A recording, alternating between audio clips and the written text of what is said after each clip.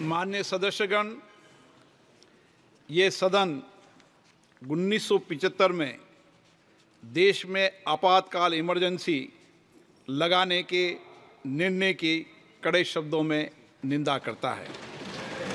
इसके साथ ही हम उन सभी लोगों की संकल्प शक्ति की सराहना करते हैं, जिन्होंने इमरजेंसी का पुनर्जोड़ विरोध किया। अभूतपूर्व संघर्ष किया और भारत के लोकतंत्र की रक्षा का दायित्व निभाया। भारत के इतिहास में 25 जून 1975 के उस दिन को हम हमेशा काले अध्याय के रूप में जाना जाएगा। इस दिन तत्कालीन प्रधानमंत्री श्रीमती इंदिरा गांधी ने देश में इमरजेंसी लगाई और बाबा साहब अंबेडकर द्वारा निर्मित संविधान पर प्रचंड प्रहार किया था। भारत की पहचान पूरी दुनिया में लोकतंत्र की जननी के तौर पर है। भारत में हमेशा लोकतांत्रिक मूल्यों और वाद संवाद का समर्थन हुआ। हमेशा लोकतांत्रिक मूल्यों की सुरक्षा की, उन्हें हमेशा प्रोत्साहित किया गया। ऐसे भारत पर श्रीमती इंदिरा गांधी द्वारा तानाशाही थोप दी गई। भारत के लोकतांत्रिक मूल्यों को कुचला गया और अभिव्यक्ति की आज़ादी का गला घोटा गया। इमरजेंसी के दौरान भारत के नागरिकों के अधिकार नष्ट कर दिए गए। नागरिकों से उनकी आज़ादी छीन ली गई। ये वह दौर था जब विपक्षी नेताओं को जेल में बंद कर दिया गया। पूरे देश को जेल खाना बना दिया गया। तब की तानाशाही सरकार ने मीडिया पर अनेक पाबंदियाँ लगा दी गई थी। न्यायपालिका की स्वतंत्रता पर अंकुश लगा दिया गया था। इमरजेंसी का वह समय हमारे देश के इतिहास में अन्याय काल का एक काला खंड था। आपातकाल इमरजेंसी लगाने के बाद उस समय कांग्रेस सरकार ने कई ऐसे निर्णय किए जिन्होंने हमारे संविधान की भावनाओं को कुचलने का काम किया। पूर्व और निर्दयी maintenance of internal secretary act MISA में बदलाव करके कांग्रेस पार्टी ये सुनिश्चित किया कि हमारी अदालतें मीसा के तहत गिरफ़्तार लोगों को न्याय नहीं दे पाए।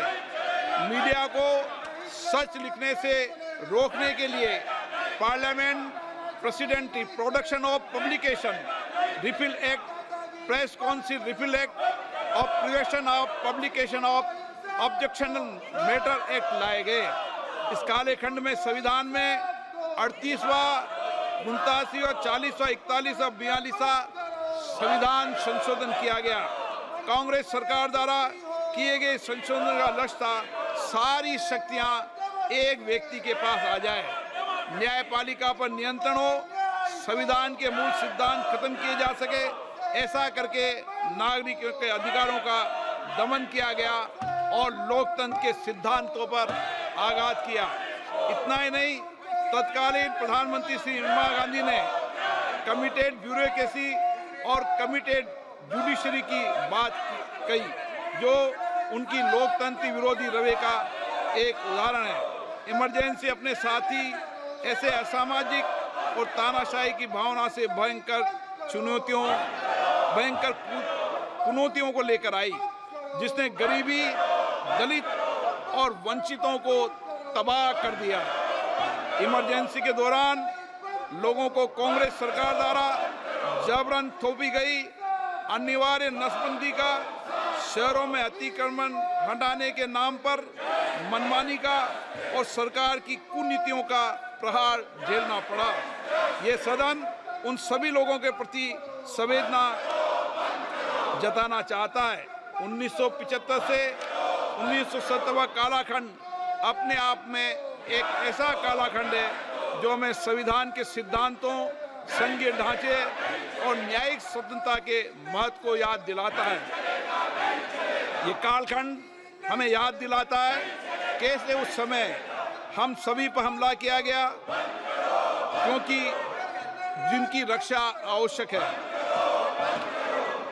ऐसे समय में जब आपातकालीन इमरजेंसी के पचासवें वर्ष में हम प्रवेश कर रहे हैं, ये अठारहवीं लोकसभा बाबा साहब अंबेडकर द्वारा निर्मित संविधान को बनाए रखने, इसकी रक्षा करने और इसे सुरक्षित रखने की अपनी प्रतिबद्धता को दोहराती है। हम भारत में लोकतंत्र के सिद्धांत, देश में कानून का शासन और शक्तियों का विकेंद्रीकरण अशून रखने के लिए प्रतिबद्ध हैं। हम संवैधानिक संस्थाओं में भारत के लोगों की आस्था और उनके अभूतपूर्व संघर्ष, जिनके कारण इमरजेंसी का अंत हुआ और एक बार फिर संवैधानिक शासन की स्थापना हुई।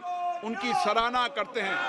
1975 में आज 26 जून के दिन ही देश इमरजेंसी की कूट सच्चाइयों का सामना करते हुए उठा था। 1975 में आज के दिन कैबिनेट ने इमरजेंसी का पोस्ट फैक्टो रेक्टिफिकेशन किया था। इस तानाशाही और असंवैधानिक निर्णय पर मोहर लगाई थी। इसलिए हमारी संसदीय प्रणाली अनगिनत बलिदानों के बाद मिली दूसरी आज़ादी के प्रति अपनी प्रतिबद्धता को दोहराने के लिए आज के प्रस्ताव किया जाना आवश्यक है। अब मैं, हम ये जानते हैं कि हमारी युवा पीढ़ी लोकतंत्र के इस काले अध्याय के बारे में ज़रूर जानना चाहिए। इमरजेंसी के दौरान गैर कानूनी गिरफ्तारियाँ सरकारी प्रताड़ना के चलते अनगिनत लोगों को यातनाएँ सहनी पड़ी थी। उनके परिवार, उनको असमित कष्ट उठाना पड़ा था। इमरजेंसी ने भारत के कितने नागरिकों का जीवन तबाह कर दिया था। कितने लोगों की मृत्यु हो गई थी। इमरजेंसी के इस काले खंड में कांग्रेस की तानाशाह सरकार के हाथों अपनी जान गंवाने वाले भारत के ऐसे कर्तव्यनिष्ठ और देश में प्रेम करने वाले नागरिकों की स्मृति में हम सब दो मिनट का मौन रखते हैं।